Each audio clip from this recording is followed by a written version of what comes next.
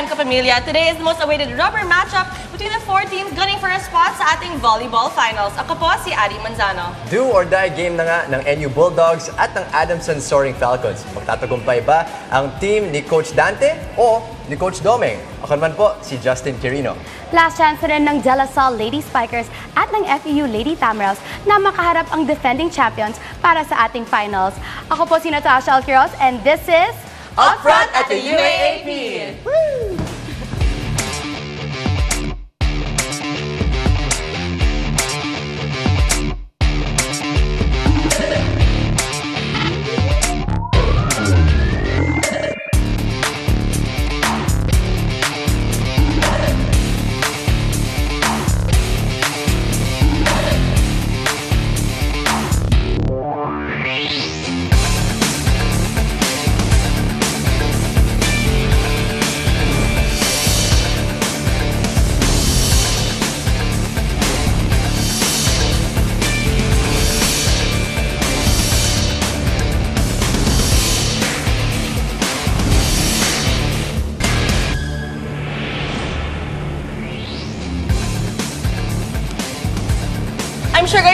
Ako ang nagulat sa games last Sunday kasi grabe, you never know what to expect this season 78. Tama ka dyan, Adi. Alam mo yung, yung uh, number 3 seed, Adamson Soaring Falcons team natin. Of course, they erased the NU Bulldogs' twice to beat advantage, forcing our game today, our deciding game today. That's at 2 p.m., mga kapamilya. At alam mo, Justin, the same thing can also be said para sa women's side. The FEU Lady Tamaraws played impressive volleyball as they went up against the De La Salle Lady Spikers and winning the game after five thrilling sets and of course, forcing a do-or-die match for today. Sino kaya ang makakalaban ng Ateneo Lady Eagles para sa ating finals? Malalaman natin yan at 4 p.m. That's, our- that's right, so good luck to the teams playing today at before natin simulan ang winner-take-all matches later on, balikan muna natin ang mga exciting moments ng men's semifinals. Let's watch this.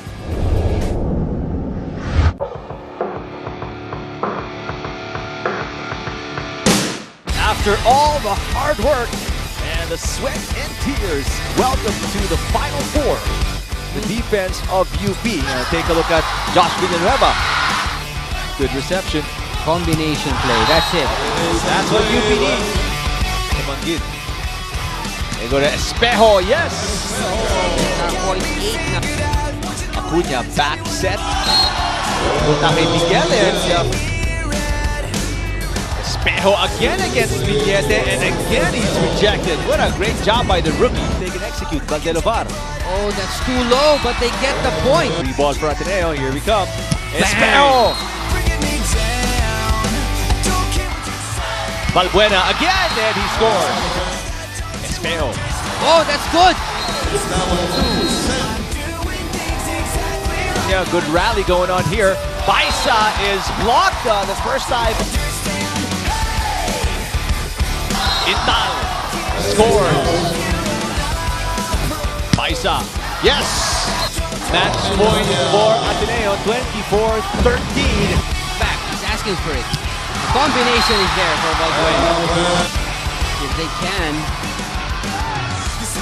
Oh! Second finals appearance, or probably a second chance to get a championship back to back.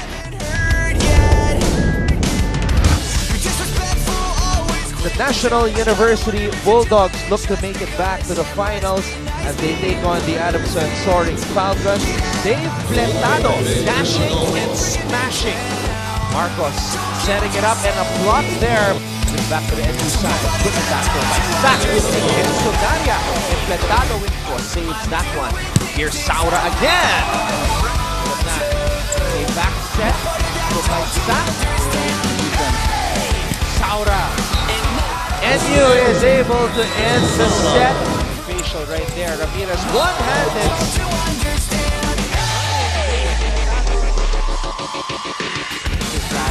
Plentado gets up their game. 'cause Even though they have the most explosive hits on the team, but he's on the floor right now. De Andante. Ooh! Tossing it up to nobody. Mulabnan. Back set for Natividad.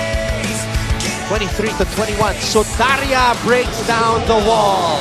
The momentum has turned in the favor of the soaring Falcons.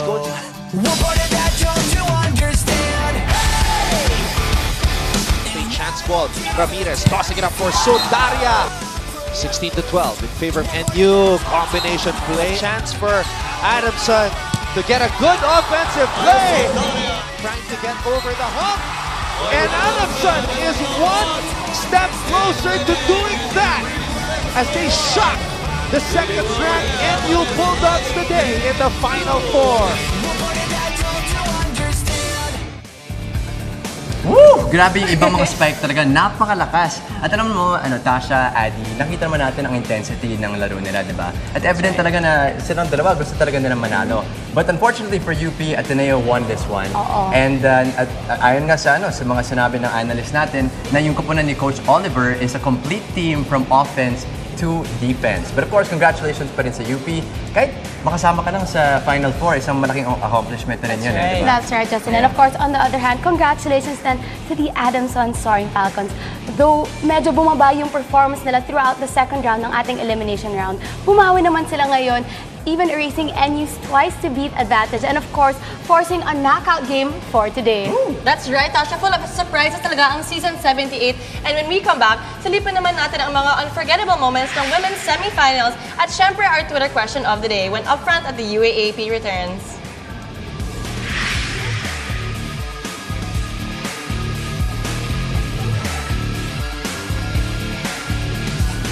Missed an episode of Upfront at the UAP, or if you want instant access to UAP game highlights, Combination play. just log on to sports.abs-cbn.com. Go to UAAP, select videos, select the sport, and select the game highlight. For previous episodes of our shows, simply click on the video icon. And via the ABS-CBN Sports in Action YouTube channel, Get to watch the latest episode of Upfront of the UAP for fun and inspiring features on your favorite UAP athletes.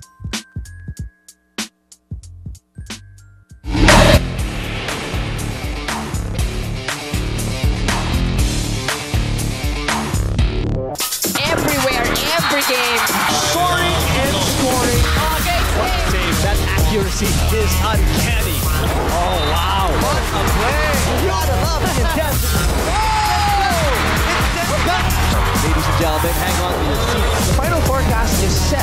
Whoa, how exciting is this?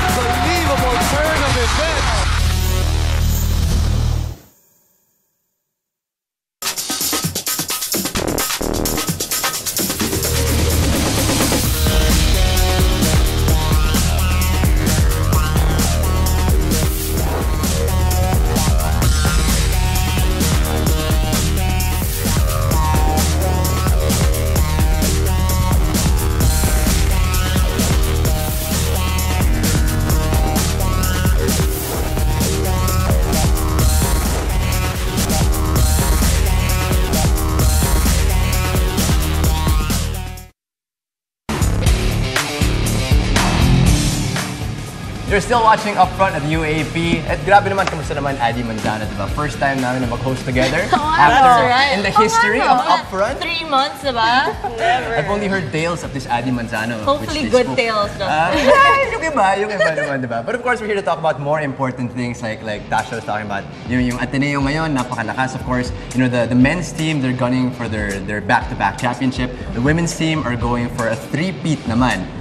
And of course, fifth finals appearance din ng women's team ng Ateneo. Yes, and it's so funny kasi both the Ateneo men's and women's team have their very own cheer rallies, which is... Oh, yeah. Oo. Oo. Yung for, oh, yung for Ateneo, para sa women's naman is one big fight for history. Yeah, that's History, For history. history. Oo. Ah, okay.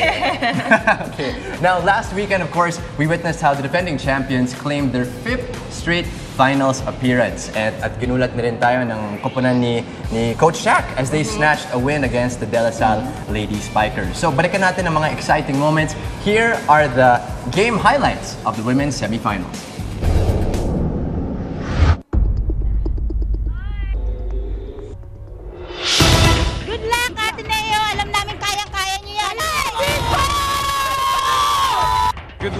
Luck, Lady Eagles and Jamie Lavatoria.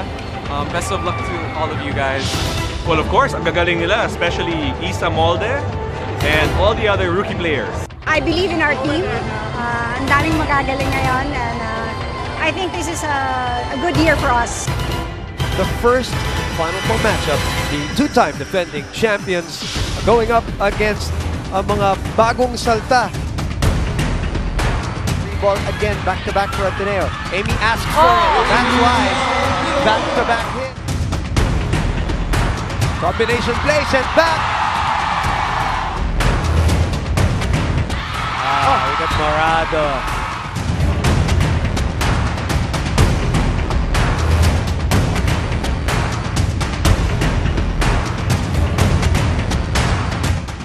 Doon naman sa kabila, parang si Molde yung inaatake nila. That is out, sayang.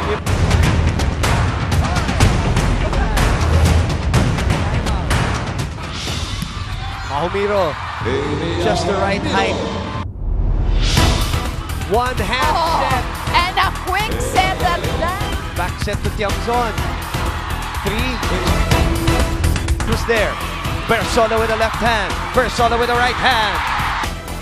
Wild rally. Oh! Morado goes to Valdez. Valdez puts it away.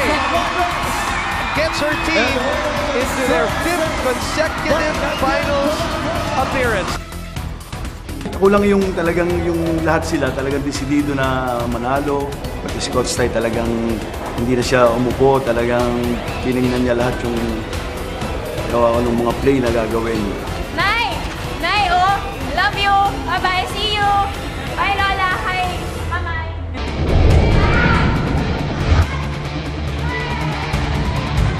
Can the FEU Lady Tamaraos do the same as they try to halt the DLSU Lady Spikers who are looking to book a return to the finals?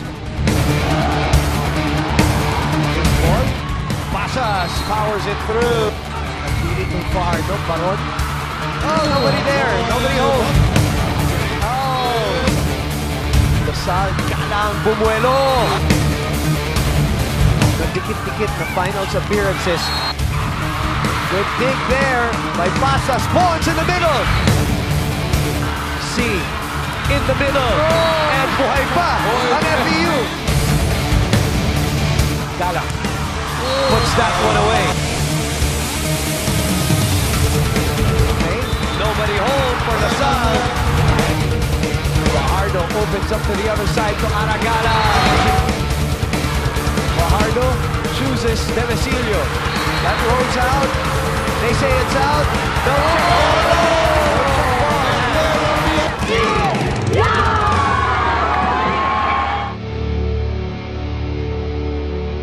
No game's not over and semi's not over. So one more game. Can get it on Wednesday. Go Lasal. Tibayan niyo pa yung sarili niyo sa pagkatalo na to. Accept niyo lahat ng pagkakamali, pagkukulang.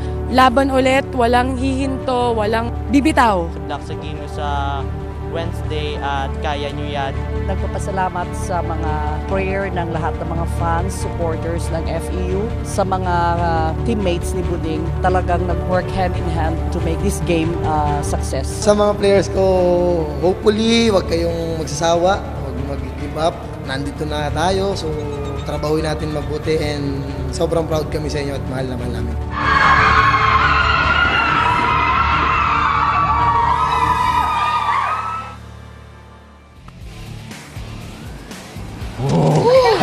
Goosebumps talaga. Intention, Oh, at guys. yun na nga, Adi, our defending champions led by the Queen Eagle herself, Eliza Valdez, na nag-aantay na lang kung sino ang makakaharap nila para sa ating finals. At syempre, hi na rin kay Tito Ruel, of course, the proud father of the phenom in UAAP volleyball. Ang cute and nila. of course, oo, ang cute nga nila, nakahug pa sila. eh. And of course, we also want to say good job na rin to Coach Jerry and of course, the UP Lady Maroons. Ang main goal nila para sa season na ito ay para makapasok sa loob ng Final Four. At nakamit nila ang goal nila this season. And of course, as Justin was saying earlier, being in the Final Four is an achievement also in itself. That's right, Tasha. And also, napaka-intense ang matchup ng LaSalle and FEU as well, diba? Because, of course, if you saw, um, FEU was down in the first two sets and they were able to catch up and grab that win. So I'm sure proud na proud si Coach Shaq sa team niya, right? And also, hi to the mom and brother of Ria Durandez who were also present in that game last Hi. Sunday. Hi, guys. Dami mga family appearances. Yes. Kakatawa. And of course, because Adamson and FEU destroyed the twice to beat advantage of NU and LaSalle, and they've come this far, papayag pa kaya sila na matalo today? Excited na excited na tayo ano, na, na natin malaman kung ano mangyayari dito. But of course, it's time for us to ask you guys what your opinion is. Let's get to our Twitter question of the day. Since marami nang nag-step up sa games noong semifinals weekend, sino-sino sa tingin nyo ang mga players na may notable contributions during those games at bakit? That's already posted on our official Twitter account. All you have to do is follow us on Twitter and Instagram at Upfront at UAP. At syempre mga kapamilya, gamitin nyo rin ang aming hashtag Upfront at UAPS78 para makita na namin ang inyong mga sagot. That's right, guys. Tweet nyo lang kami and we will read your answers later on the show. And when we return, Gina had a jam session with our very own Anton Rojas. Magbabalik ang Upfront at the UAAP.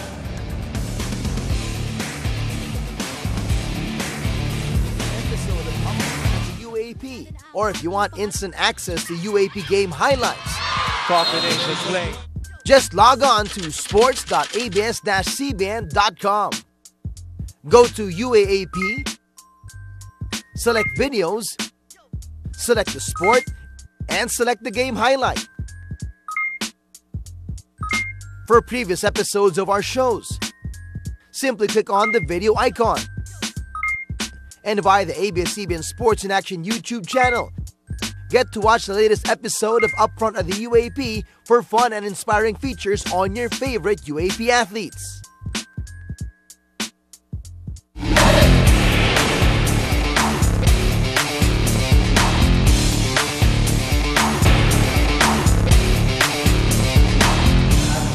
Welcome back to Upfront at the UAP. Oh, Adi, Tasha, okay pa kayo? Okay ba? pa, grabe. Masyadong intense dito sa Medyo intense yung atmosphere dito sa Mall of Asia Arena, kaya medyo mag-chill muna tayo, no? Okay. We prepared a quick jamming session with, with one of the most esteemed UAAP anchors here for UAP Volleyball, Mr. Anton Rojas. With him, of course, is our very own Janina Chan, singing as always. Here's our latest edition of UAAP Jam.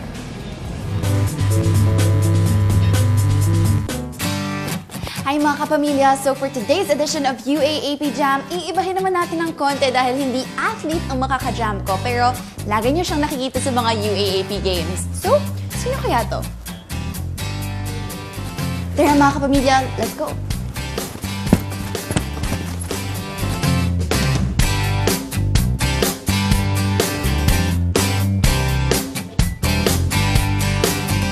He's one of the most competent and promising sportscasters that we have here at ABS-CBN Sports and Action. Pero today, makikita natin ang ibang side naman ni Anton Rojas. That's him. Hello, Hello. It's about time you come visit me here in my mansion. Yeah. At ngayon kasama ko na si at Mr. Pure Business himself, Anton Rojas. Pero mas makikilala nga natin ang iba pang side niya. So, Anton, kailan ba nagsimula yung interest mo with music? Um, I actually used to be in a band in college, so we decided to form this college band called Moon Punch. Ano pa ba yung mga hilig mong gawin? What are your other hobbies at iba pang mga outlets mo? Well, pangarap ko talaga growing up was to become a professional basketball player. At si Michael Jordan talaga yung pinakamagaling na basketball player. Siya talaga yung life idol ko. Alright, this is one of my most memorable moments in my life because uh, I was able to see the Michael Jordan statue in Chicago. This was in 2013. Well, I like to travel. Uh, I really love traveling. Every Oh time I God. travel, I, I really make it a point to get magnets so I can remember yung mga lugar na napuntahan ko. At ayan na ang mahiwagang ukulele ni Anton. I started when one of my good friends, Myrtle Sarosa, brought her ukulele to this event that we cover, and she played a song for me, and I was mesmerized. Uh, we're going to sing one of the easiest songs to learn on the uke. Um, it's a song called "I'm Yours" by Jason Mraz. It's it's one of the first songs na tinuturo ng mga ukulele teacher. Well, you done done me and you bet I felt it. I tried to be chill, but you're so hot that I melted. I fell right through the cracks. Now I'm trying to get back. Go, Janina. Before the cool done ran out, I'll be giving it my best tears, but nothing's gonna stop me but divine intervention. I reckon it's again my turn to win some or learn some, but I hesitate no more, no more. It cannot wait. I'm yours. There's no need to complicate. Our time is short. This is our fate. I'm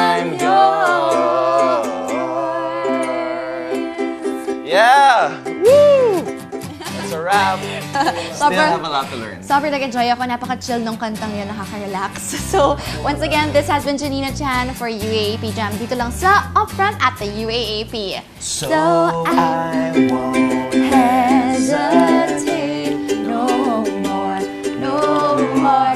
It cannot wait. I'm yours. oh my God. Hi, hello, you're back. You're hello Hi there. guys. So Anton, if you're listening, we want to ask you naman, where did you learn to sing and play the ukulele? Wow, May ba mga hidden talents ka pala. Uh, I've been playing for Ano five weeks. Hey guys. Dapat sa susunod na UAP Jam, si Doc Ian naman ang feature ah. But guys, sobrang cute naman ang jamming session ninyo at sana sinama niyo kami kasi clearly may talent din ka nga, di ba? Si Adi, di ba? Si Adi lang may edit talaga. Gila siya.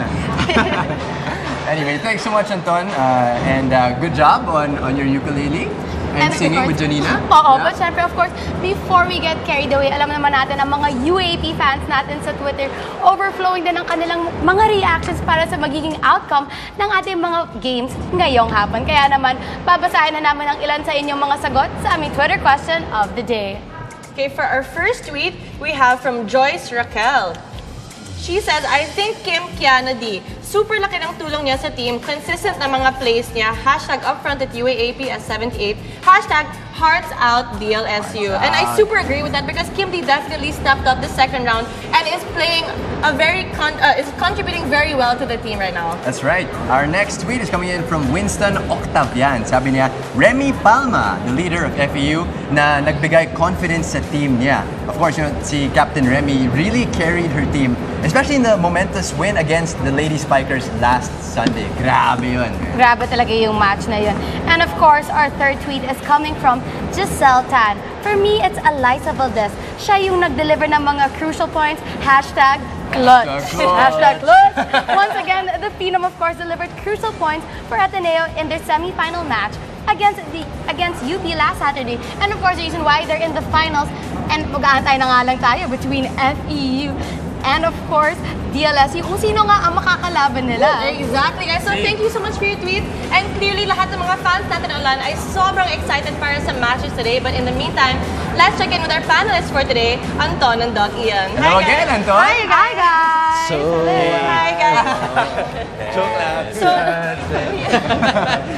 Mukhang mawawala na ako ng partner. I think ibang career. So, inagaw nyo na siya eh. Magiging artista na yan. Um, so Okay. guys, since na-witness natin last Sunday how the Adamson Soaring Falcons and the FEU Lady Tamarails erased the twice-to-beat advantage of their opponent, for you naman, Anton, um, how the- how should the how should the NU Bulldogs and the De La Salle Lady Spikers play today, or what should they do naman in order to win their games today? Well, for NU against Adamson, I think they have to limit their errors. They committed 35 errors. Yeah, that's so and much. that's just uh, unacceptable for Coach Dante Elensunurin. Para sa akin, they have to limit that. And I think Vince Mamulabnan has to do a better job with showing more variety and using the middle. Uh, let's see if he will get Kim Malabunga, who's six foot six, involved in this game para maging uh, mas mahirap Yeah. madepensa ng opensa ng Bulldogs. Sa women's division naman, Well, w- for uh, tong FEU and of course itong Adamson, alam naman natin, they already took that first step. Yeah. You know, that's the most important step that they had to make. And now they have to keep their eye on the prize and it's been done before. They gotta keep in mind na talagang na nagawa na to dati, no? So hindi enough na nanalo na sila nung first game. They have to look at it and go all the way. And they have to believe. They could have to continue believing. And I think, like what you said, minimizing errors for any team in this kind of a situation is a must. And of course, have that confidence na kaya nilang tapusin up to the very end. FEU will try to shock the world again. yeah. yeah. Course, maraming salamat, Anton, and of course, Doc Ian, para sa inyong mga insights. Do or die match na talaga ang mangyayari in just a bit between the NU Bulldogs and the Adamson Soaring Falcons. Sino kaya ang makakaharap ng Ateneo Blue Spikers sa ating finals? Malalaman na natin yan. And of course, before we go, we'd want to greet our very own Kapamilya co-host and of course, my friend Gretchen Ho. A belated happy, happy birthday! Hey! Happy birthday, Happy birthday, Gretchen. Gretch. Oh, happy birthday. And of course, that's all the time we have for now, mga kapamilya. Kita-kita ulit tayo mamaya dito lang sa inyong exclusive source on all things great about the UAAP. This has been Upfront at the UAAP. See you guys later. hesitate no more, no more.